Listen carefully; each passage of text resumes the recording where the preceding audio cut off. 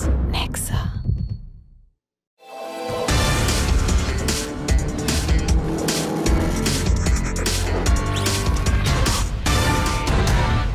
Well, if you are in the market for a car which offers you the practicality of a hatchback, the space and comfort of a mid-size sedan, and the on-road presence of an SUV, then look no further than the Maruti Suzuki S-Cross. Well, what is this car all about? It's essentially Maruti's answer to the Ford EcoSport. But has it got what it takes to be the best in this competitive compact SUV segment? We'll find out on the show today.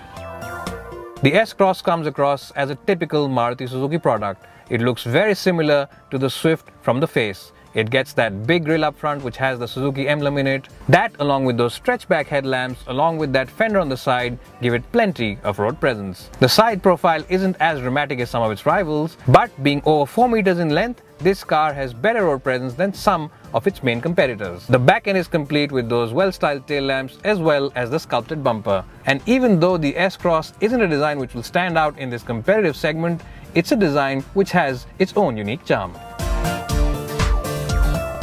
Well, here I am now in the back seat of the S-Cross and as you can see, headroom is not a problem at all and knee room is really generous as well and uh, by now you must be knowing that my height for reference is 5'10 and I have adjusted the front seats as always for my driving position.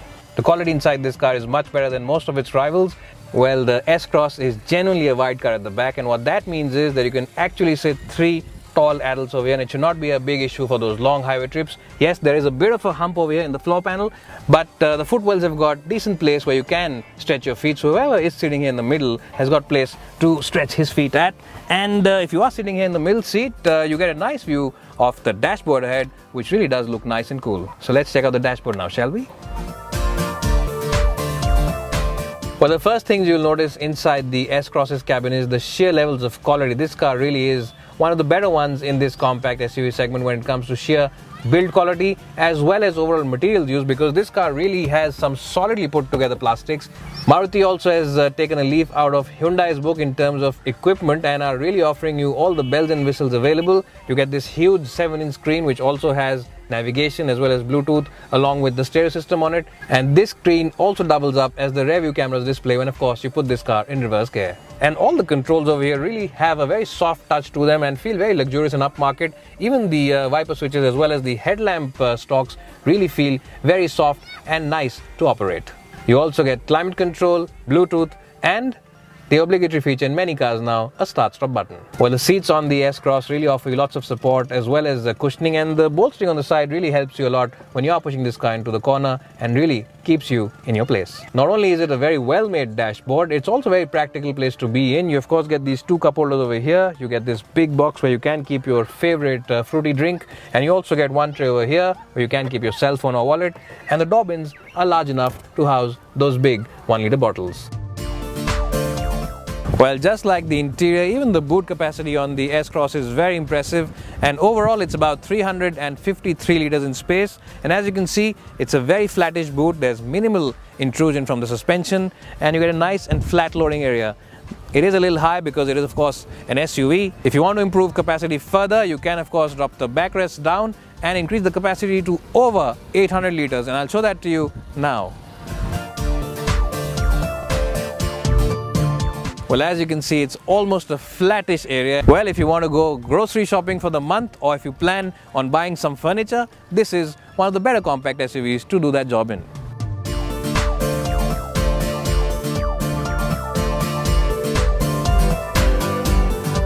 Well, here I am now driving the Maruti S-Cross. Well, Maruti Suzuki have decided to offer the S-Cross only in diesel power at the moment and you get uh, a 1.3 litre diesel engine and an all-new 1.6 litre diesel engine and uh, the 1.3 makes about 90 bhp of power and about 200 nm of torque while the bigger 1.6 uh, litre engine makes about 320 nm of torque and 120 bhp of power. Well, the 1.3 litre engine is the same one which also does duty on the Ciaz as well as the Ertiga. Well, this 1.6 litre engine is a real hoot to drive along with that chassis out there which is really sporty. This engine really does love to flex its muscle and uh, it really loves to be revved hard and even when you rev it hard, it doesn't really become too obtrusive in the cabin. It remains very quiet and refined, and that goes to show the amount of engineering that Maruti Suzuki has put into this car. Well, Maruti claims a 0 to 100 figure of 11.3 seconds for this car, which feels pretty good uh, considering the size and the weight and the category this car is in. And uh, what that really goes to show is the amount of performance that uh, this engine and the S-Cross deliver. Well, another plus point of this 1.6 litre motor is the fact that it's a very refined and very quiet motor and even when you rev it hard, it remains largely quiet inside the cabin, making uh, this car one of the better cars for those long distance trips. Well, the good point about the 1.6 litre diesel engine is the fact that it comes with a 6-speed manual gearbox. But what that extra gear does is gives the engine a lot of flexibility. So if you are someone who uses uh, your car on the highway very often, then this engine will deliver very good fuel efficiency figures. All you need to do is just put this gear in 6th gear and sit on that accelerator pedal and you will get a fuel efficiency figure of something around uh, 22.7 kpl from this engine.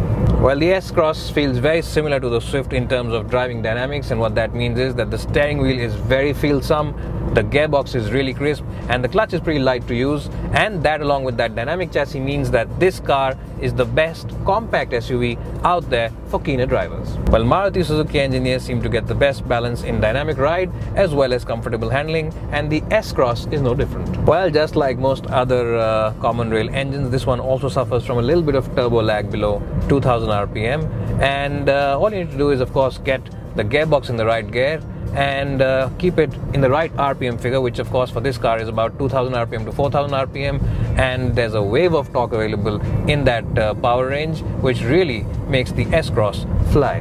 Well, this very crisp steering wheel along with that nicely set up suspension means that this car really loves to change lanes like a housefly and uh, that makes it one of the better cars if you are someone who really enjoys pushing his car into those corners. Well, the chunky tires on the outside along with uh, the all-wheel disc brake system gives this car very solid uh, braking feel and in fact it really does drop the anchor down as soon as you press that brake pedal. Another plus point of the S-Cross is the fact that it's a very stable car and it really does soak in the bumps very well, especially at higher speeds. So if you are someone who enjoys those long distance highway trips, then this is one of the best compact SUVs out there. Well, the S-Cross comes across as a car which offers you a great personality on the outside, a very dynamic drive, a punchy diesel engine, and a luxurious and comfortable cabin. All that, along with the trusted Maruti Suzuki brand, means that resale values and after sales will be very strong as well, making this one of the best buys, if not the best buy, in the competitive compact SUV segment.